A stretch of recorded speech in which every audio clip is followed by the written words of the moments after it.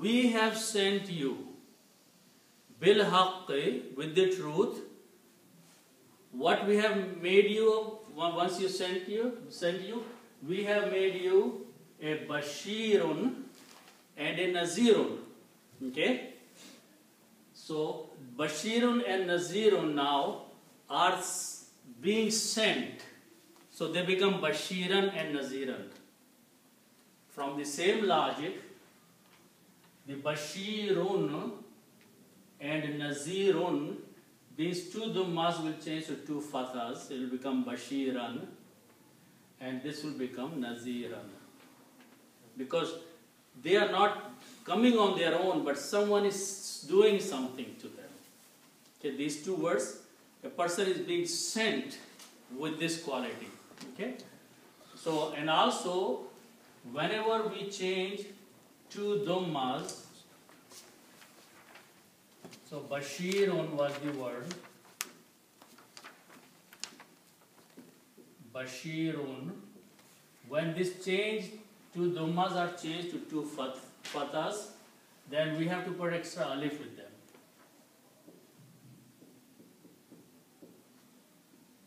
Bashir run like that. Okay. Whenever you change two dhammas to two fathas, you have to add an alif. Bashiran. Okay? So this will become Naziran. Okay? So the meaning will be we have sent you, O Prophet, bil haqqi with the truth, as the one who gives the good news. Okay? As he who gives good news. In English, there is no single word that we can put for there, so we have to write down what is the meaning of Bashir. But in English, Naziran has the word warner, so I can write down warner here.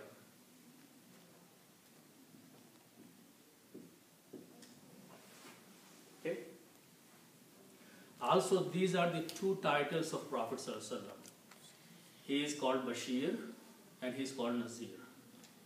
Bashiran and Naziran. So Allah says that we have sent you with the truth, which means with the Quran, as someone who will give people good news if they obey Allah subhanahu wa ta'ala and will give them warning of a punishment if they do not obey Allah subhanahu wa ta'ala.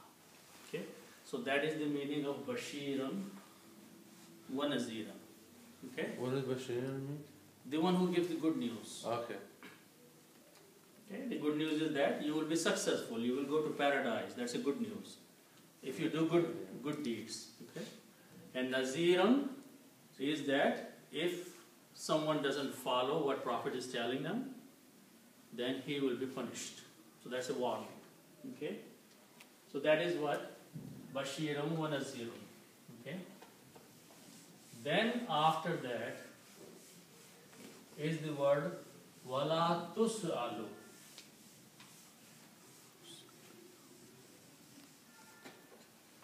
Okay.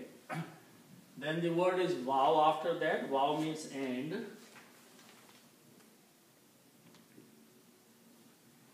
And the word la means not. The next word la means not. I'll just write down there not. Okay. Now, the next word, let's look at that. It starts with these three root letters Sin, Hamza, and Lam. Okay?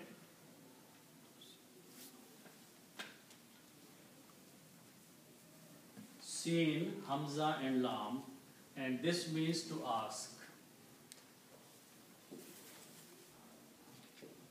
The word swal that we ask is a question is from the same root letters. Okay? So Sin, Hamza and Lam means to ask something. Okay? If I do it this way, put a ya in the beginning, yes Alu. Means he asks. It's just like Yaf Alu, he does. Okay, which is written there. Uh, number seven. Yaf Alu, you put a Ya in the beginning. Okay, and here you put a ya in the beginning, it becomes yes alu. Yes alu means he asks. Okay? If I put a, instead of a ya in the beginning, I put a ta in the beginning. Okay. So this will become tas'alu.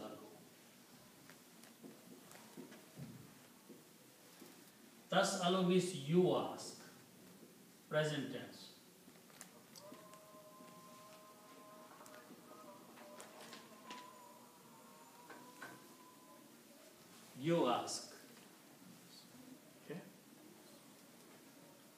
Yes, alu means he asked, one person. Tas alu means you ask, one person. Okay. Tas alu. Okay. Put a little. Yeah. Okay. Now, this is a an active statement. You ask. If in English I say you are asked, it becomes a passive statement. Passive voice. Okay. You ask is an active statement. You are asked is the passive. So how do we make passive here? It's a very simple. All we do is we just change one thing.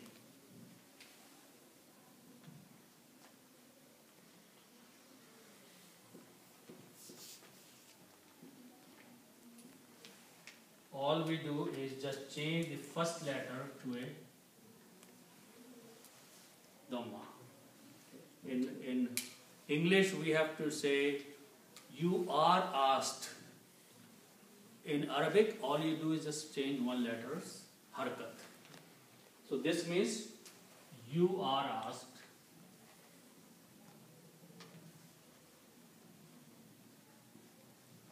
Also in Arabic,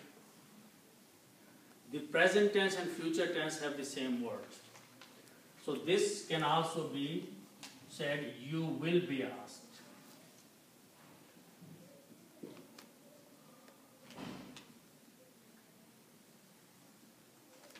You will be asked. Okay? So that's the word in the Quran here. Tus'alu, you will be asked. But there's a law before that. Law means not. This means you will not be asked. Okay? So the word will be you will be asked. But when you read the whole sentence, it will be and you will not be asked. Allah subhanahu wa ta'ala is saying to the Prophet because he is addressing him. He's saying, We sent you with the Quran, with the truth, as a Bashir and a Nazir. You will not be asked. Means on the day of judgment, Allah will not ask you. You will not be questioned. Okay? Allah is telling Prophet, you will not be questioned. You will not be asked. What is that you will not be asked? Next three words. An ashabil jahim. Okay? So let's look at those words. Can you do the last word with us? Hmm? Um, just I, I didn't get the last word yet. You will So, tus tusal tusalu means what? you will be asked. Uh, So you can just write down this much. You will be asked. Okay? Now, the word honor has couple meanings. An means about or regarding.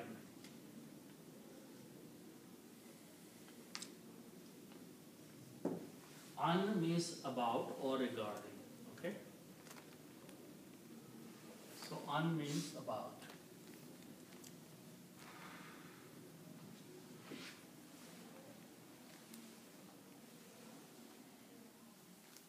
Okay. I got that. Okay.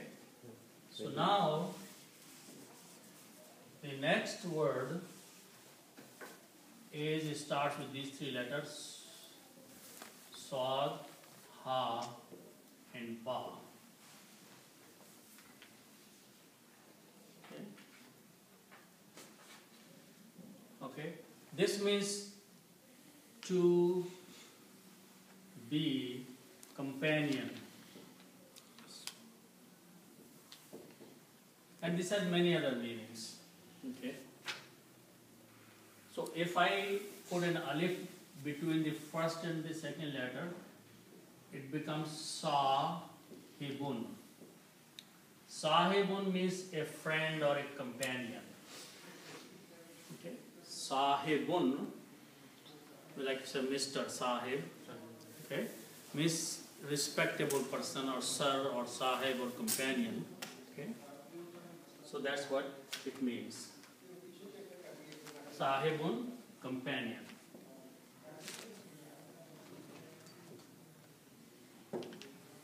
Okay. Its plural is ashabun. So if I write it on like that, ashabun.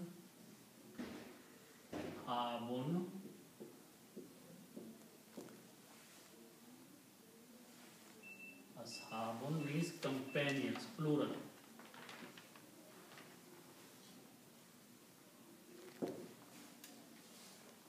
Companions or the residents or the, you know, there are many meanings of this one. So ashabun means companions. Okay? Now, let's look at the next word and we'll combine them together. Jahim is the hellfire. It's- the word is Jahimun. Jahimun means hellfire. Jahannam or Doza. Jahimun.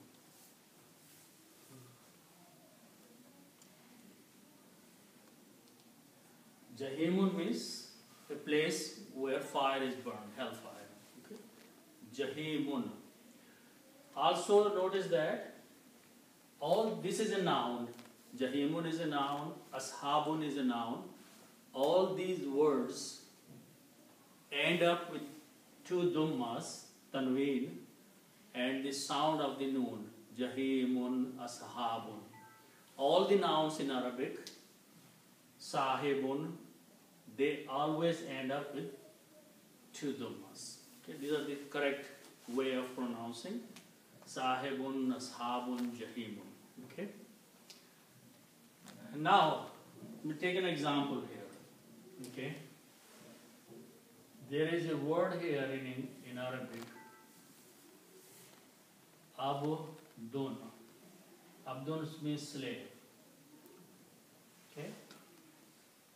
And there is another word, Allahu.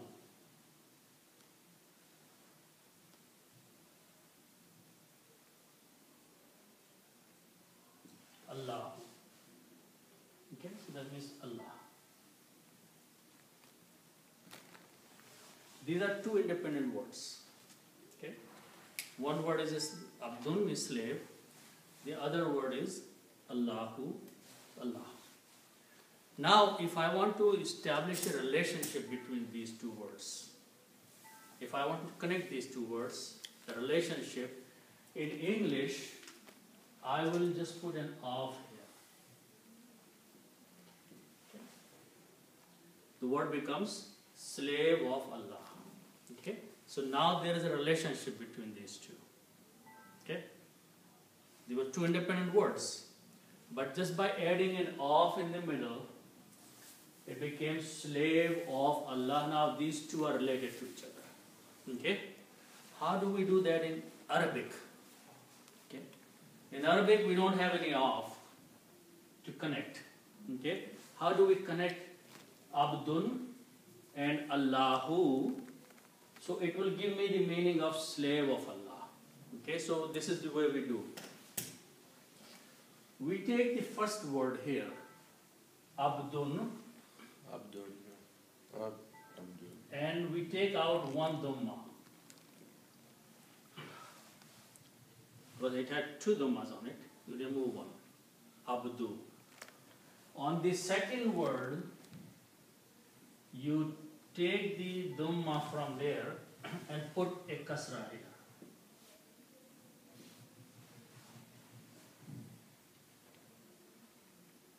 Okay? So, this word you make a change. It was Tanween, two Dhammas. You remove one. On the second word, there was a Dhamma, the last letter. You change this to a Kasra. Okay? And then you combine them reading and don't recite Alif here. It will become Abdullahi.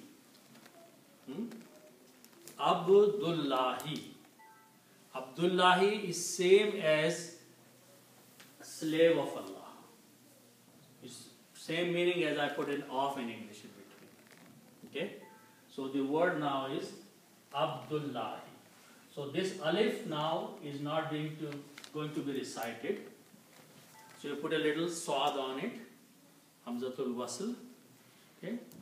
So the word is now as pronounced as Abdullahi. You had a question? No, I was gonna say, um, when I, I was, uh, one day I was in the car, I was listening to some Quran, right? And, uh, I was, for some reason, I, I was going through it and I was like, okay, and I was listening to it, and then, uh, when, when it's reciting, it, when it, you can kind of picture out what it's saying because of the way he's saying it. Mm-hmm. Like like if you're saying like uh alhamdulillah Rabbil Alameen, like like uh um like like uh like there's nobody greater than Allah or like Mhm. and that's why and that's why it means all praise be to God, you know what I mean? Mhm. You know what I'm saying? Okay. So, so, so this is like a mudaf mudaf. Yes, this is like Abdullah. So the word is now Abdullahi. Okay, so that's how you connect two nouns together. Okay, making some changes in both of these letters, both of these words. Okay, so now in our case here we have two words, Ashabun and Jahimun. Okay, so before we proceed, let's put an al before that. Al. Al brings the meaning of the. Okay? But what al does? Al takes out one dhamma and it becomes al jahimu, the hellfire. Okay? Uh, you have to take it off so it just it like that. So now you have two words. You have ashabun and you have al jahimu. Okay? These are two independent words. Ashabu means companions. Al jahimu means the hellfire. Two independent words. Okay? Al So, Jahim. so I'm going to write down here. You have a word ashabun and you have the word al jahimu. Okay, so let's write down so this can be written as al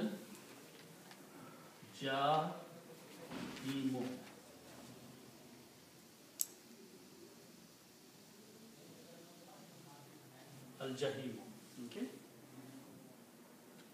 So we have ashabun and we have al jahimu, right? Ashabun means companion or residents or people who live in there.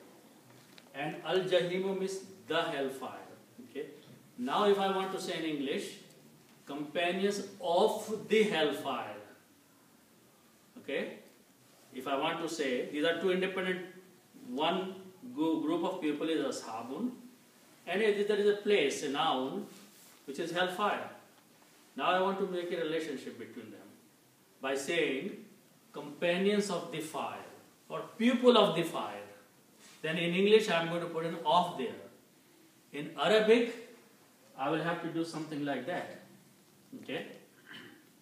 So what, what I have to do? From the first word, which is ashabun, I will need to take out one dhamma. Just like from Abdul, I took out one dhamma. So this will become ashabu. On the second word, I change the dhamma to a kasra. So this jahimo will become now jahimi. Okay? And now you can combine asha bull. Same thing. Don't have to recite this alif, just like we will do it here. So the word becomes ashabul jahimi. Ashabul, that's what is in the Quran. Ashabul jahimi. If you notice that, even though it, ayat is ending, but there is a kasra there on the jahimi here. Okay? The original word was jahimo, but now it has become jahimi because we have combined two nouns and that has changed the, the word. Okay? Now, so now notice one more thing. So now the word is, I'm going to write down these together. As ha bull jahimi okay ashabul jahimi people of the fire. One more thing notice that from all this rule the word is Asha ashabul there's a dhamma but in the Quran it is kasra. In the Quran it is kasra. How did that come here? The, from the rule of the grammar, it should have been ashabul jahimi. But actual word is ashabil jahimi. Who is doing that? This an an is harf jar or a preposition and we learned that whenever there is a harf or preposition it looks at the next word and if it finds a dhamma it changes into a kasra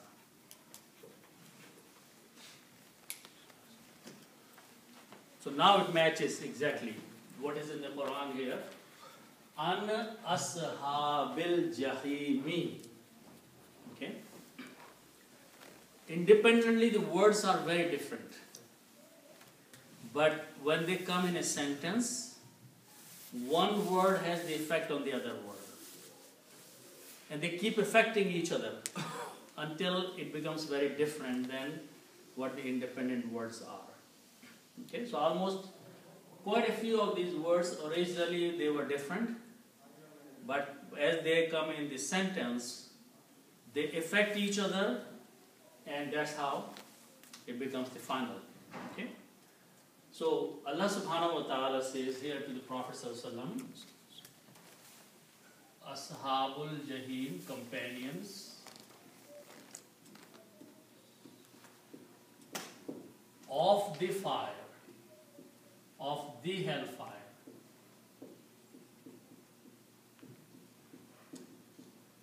So Allah says to the Prophet ﷺ, You are a Bashir and a Nazir. Your job is to tell people that if they do good, if they obey, if they believe, then give them good news. And if they don't obey Allah subhanahu wa ta'ala, they do not follow the commands of Allah, then give them a warning. Just that's your work. If they don't follow, if they don't listen to you, and as a result they end up into the hellfire, nobody is going to ask you why. You're not responsible for that.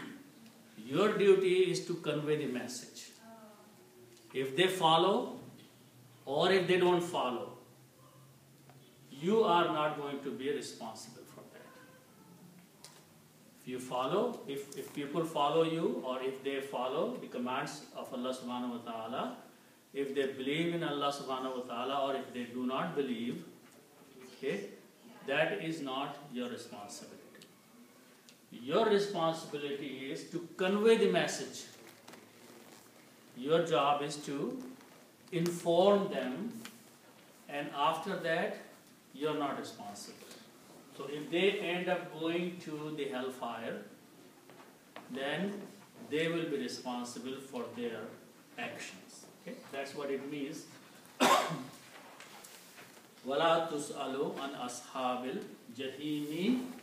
You will not be asked. You will not be questioned of those people who go and end up into the hellfire. Okay? So that is the end of ayah number 119. Okay?